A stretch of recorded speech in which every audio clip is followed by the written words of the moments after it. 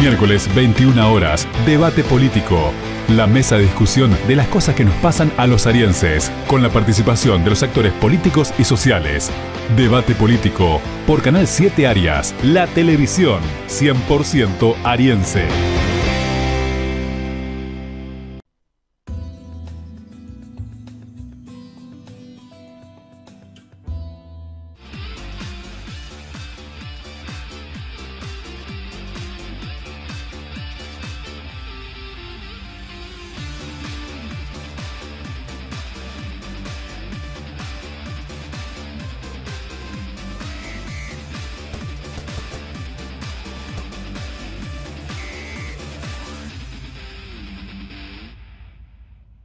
¿Cómo están todos? Eh, muy buenas noches. Aquí estamos empezando este Deportivo Ariense por la pantalla de Canal 7 Arias.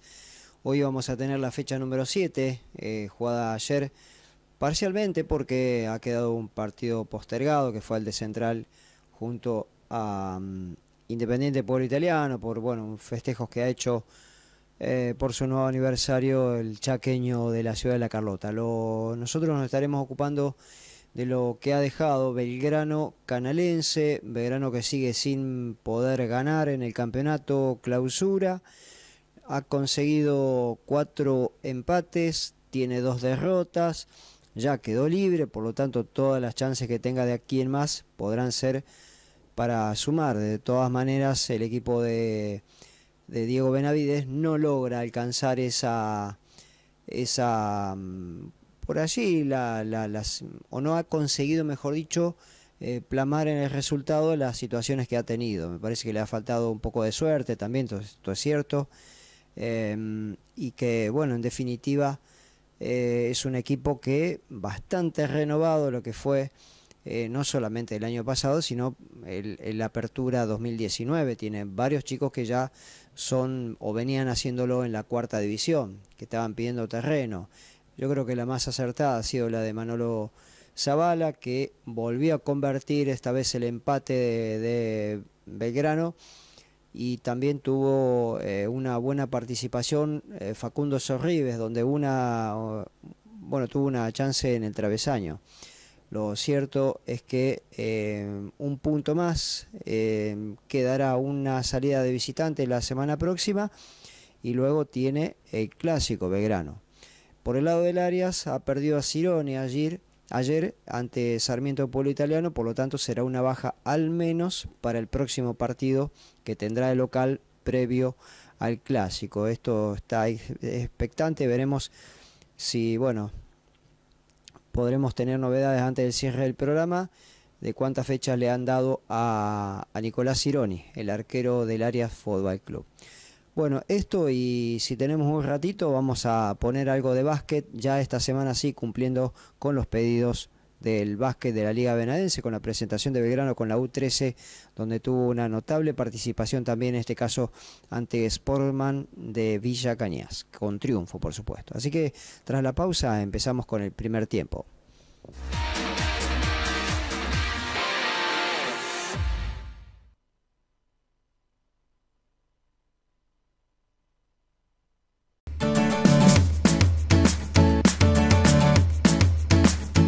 Maderas, materiales para la construcción en seco, machimbres, tirantes a medida.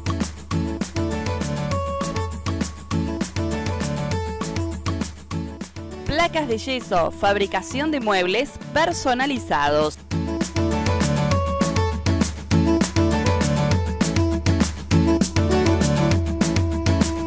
Además, modulares, zócalos, aislantes, impregnantes. Lito Maderas, Avenida San Martín, 1846, celular 03468 1551 93 49.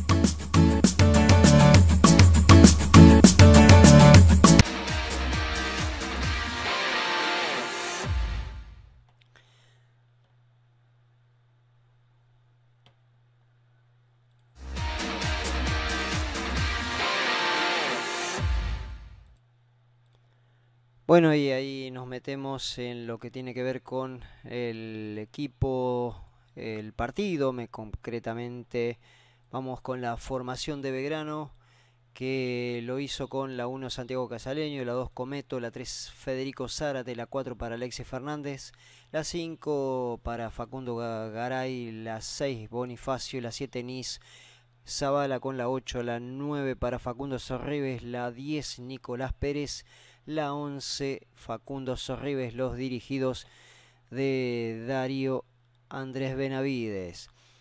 Vemos ya el inicio del partido, el equipo canadiense que formó con Lucas Giorgi, con Leonardo, Leonardo López, Lucas Tomasoni, Luciano Ruiz, Nicolás Urroz, Maico Barroso, también lo hizo con Luciano Fandiño, Pablo Mancilla, Néstor Barrera, Gonzalo Contrera, Agustín Torres, ahí lo veíamos en pantalla a el jugador Luciano Fandiño. Y allí el partido, ¿no?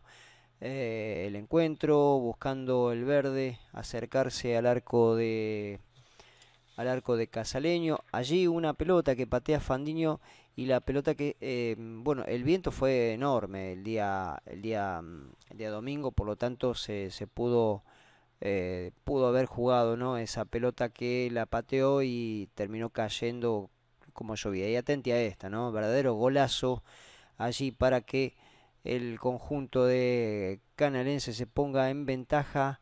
Verano allí 1 a 0, el gol de Mansilla para poner el 1 a 0 en lo que habí, teníamos, ¿no? En el arranque del partido, nada pudo hacer Casaleño en esa, el verdadero golazo que terminó clavando y de esa manera se ponía en ventajas, en ventaja el equipo el equipo visitante, que seguía acechando. Belgrano no podía lograr eh, acomodarse. En realidad el partido no, no me gustó mucho de lo, que, de lo que fue, lo que mostraron. Y bueno, y Belgrano que trataba de poder llegar, buscándolo en varias oportunidades con eh, Zavala, que por allí fue la carta eh, ofensiva más importante que tuvo eh, Belgrano. Bueno, y, así seguía el encuentro y allí viene, ¿eh? Zavala.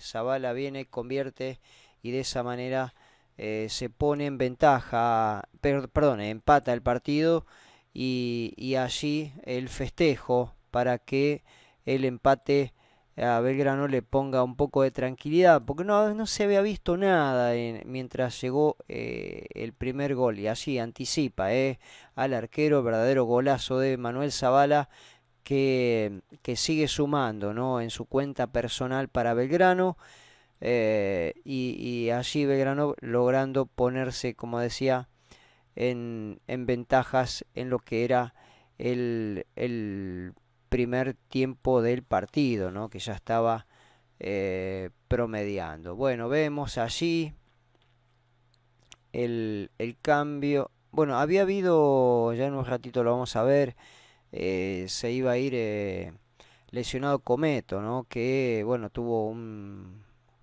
un dolor allí en la pierna izquierda y de esa manera lo reemplazó Gastón Sosa.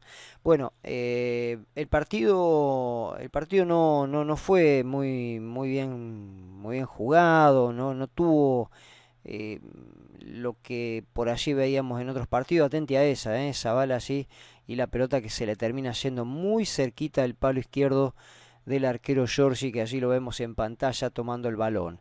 Eh, fue muy buena esa, eh. así la salida rápida de Bonifacio, la pelota que le pica mal al defensor del número 6, eh, Maico Barroso, la toma allí Zavala, le pega de derecha como venía de volea y de esa manera se le va ahí lamentándose el delantero de Belgrano, lo que podría haber sido la, el empate, ¿no? Concretamente.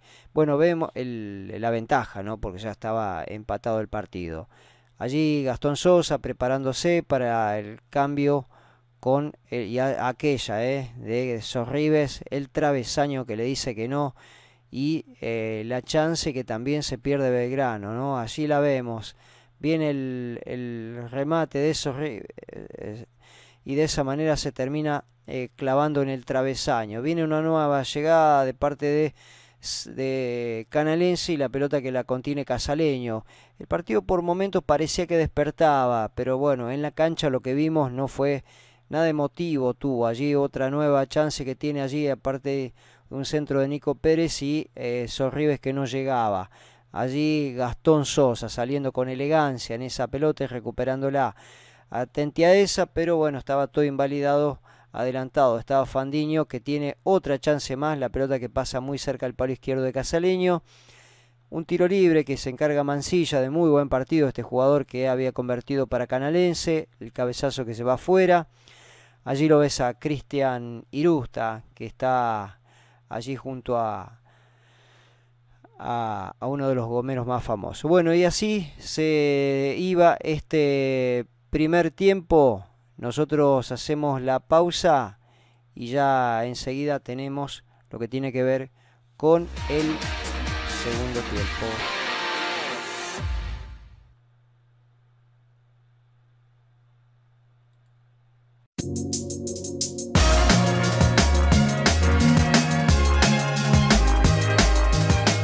Tinglados y Galpones. Cumplimos 25 años y seguimos con nuestro mejor servicio le brindamos ahora espectaculares ofertas en estructuras metálicas, tinglados y galpones parabólicos y a dos aguas, en especial de 12, 15 y 20 metros de ancho. Además, retomamos la venta de chapas y perfiles cortados a medida.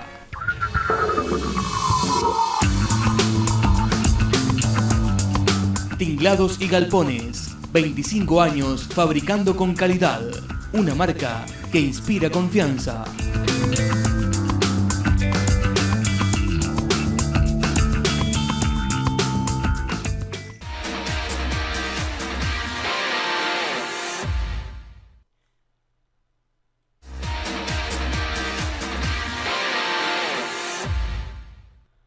Bueno, y ahí nos metemos en el segundo tiempo del partido. Lo, lo está, está empatado el encuentro 1 a 1. Recordemos goles de Mansilla y de Zavala para, para Belgrano. Eh, el encuentro que decíamos se llevó a cabo este, este domingo eh, en la cancha del, de Belgrano Junior. Bueno, el partido allí, una mano que reclama Mansilla, viene el tiro libre, la pelota que se termina yendo desviada, supera la barrera, pero ahí estaba, ya calentaban los suplentes de Belgrano, allí para estar listos a la orden de eh, Diego Benavides, que bueno, Allí vemos el viento, ¿no? que naturalmente estuvo soplando con gran intensidad y más aún todavía en la altura donde estábamos situados nosotros. Allí una, una falta, viene el tiro libre que se ocupa Mansilla y en el pic, tras el pique la contiene Casaleño. Viene una rápida salida allí de Nico Pérez, la jugada por derecha buscando a Alexis Fernández la pelota que se, le se la terminan tocando. Viene allí el, el equipo de, Belgrano, allí lo, lo tenés a, nuevamente eh, buscando allí la, el arco de venía el cabezazo no allí de Zavala y la pelota que se le termina se le terminaba yendo por parte del centro que le había echado Ezequiel Chávez. La, la pelota que viene ahora el córner ejecutado por Canalense la salida rápida de Belgrano nuevamente tratando de buscar allá a través de Nicolás Pérez por derecha, la pelota que le quedó atrás, juega nuevamente, la pierde, recupera rápidamente Canalense, viene un tiro libre a favor de Belgrano, la pelota que no tiene ningún destinatario, solo para la salida de los verdes, y allí los peques, ¿no? En la, en la cancha de fútbol 5. Eh, bueno, y allí el ingreso de, Nicol, de Leandro Pérez. Em, allí nuevamente una, una llegada de parte de Belgrano, todo centro aéreo, nada podía conectar con peligro. El rechazo de la defensa de Belgrano, como lo vemos Mansilla, este chico muy muy movedizo, eh, prácticamente cargándose el equipo al hombro. Allí la parcialidad de, de Canalense que estaba apostada, muy poca gente estamos viendo en las canchas, ya como es habitual en estos tiempos difíciles, el viento que eh, teníamos allí en ese lugar. Bueno, la, llegada, allí el desborde por, por izquierda de parte de Sorribe, la pelota que no termina eh, quedando nada. Los, mientras tanto calentaban los suplentes. Quedaba ya promediando el segundo tiempo, jugando Nice allí la pelota para que eh, pateara allí el jugador eh, Sorribe la pelota que se termina eh, yendo apenas arriba del ángulo mientras le hacía vista el arquero de, de mm, Escalante, ¿no? Eh, en realidad de Montemaíz, eh, Lucas Giorgi. Vemos nuevamente allí el rechazo de parte del arquero de, de Canalense, un nuevo cambio, allí el ingreso de Pereira por Sorribes, allí se va el 9. La, ya había agotado los cambios Benavides, allí lo ves a Pereira, todo con botines de distintos colores, Belgrano. Viene ahí el despeje, la pelota que patea allí el jugador de, de Canalense y le pega muy desviada. Allí lo besa al, al jugador Ezequiel Chávez. Bueno, vemos nuevamente allí el, el, juego, la posición adelantada, el calambre que tenía allí el, el jugador Federico Zárate, ya había agotado los cambios. Mientras tanto, Canalense seguía introduciendo los, eh, los cambios para ver si podía eh, hacer algo, ¿no? En, esa, en esas llegadas que iba, iba teniendo, ¿no? Vemos nuevamente el, la, la pelota que sale rápida y el árbitro que dice, mire, se terminó el partido, ¿eh? uno a uno salieron Belgrano y Canalense, Belgrano que sigue sin ganar y ya ahí nomás nos metemos en lo que tiene que ver con las, eh, las placas, ¿no? Así que una pausa cortitita y ya las tenemos.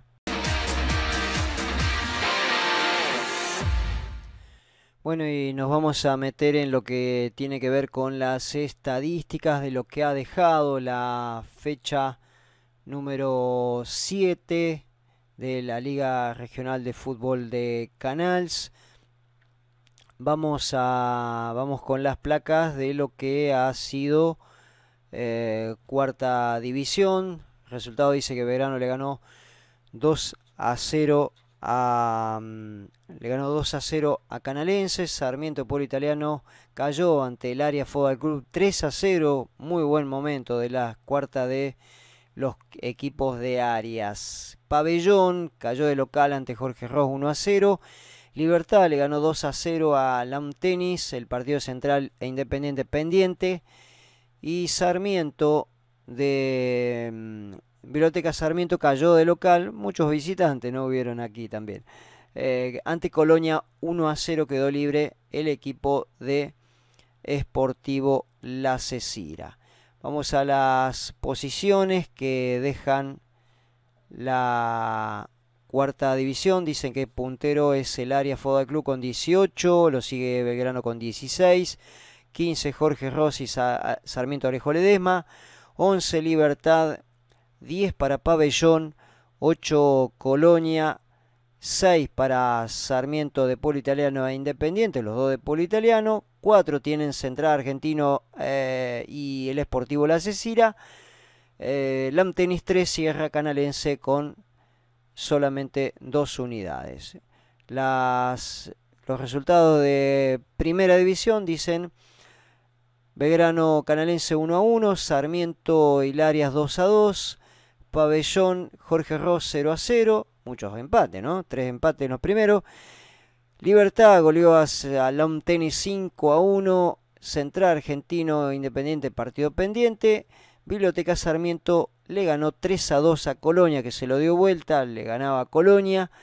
Libre el Esportivo La Cecira.